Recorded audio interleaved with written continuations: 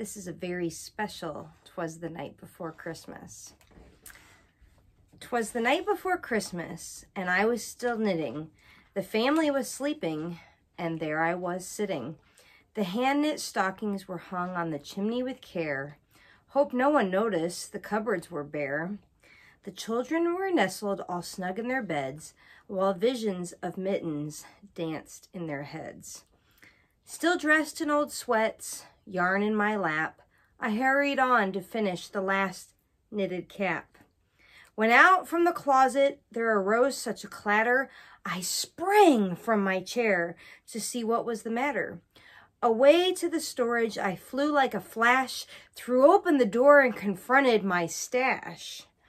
The yarn on the floor was like new fallen snow. Better shove it in quick so the husband won't know. When what to my bloodshot eyes should appear, but the knitting fairy who said, have no fear.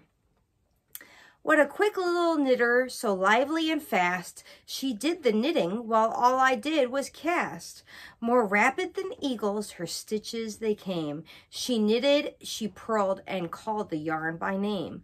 On cashmere, on cotton, on alpaca, on wool, on silk, on angora, not one skein was missed.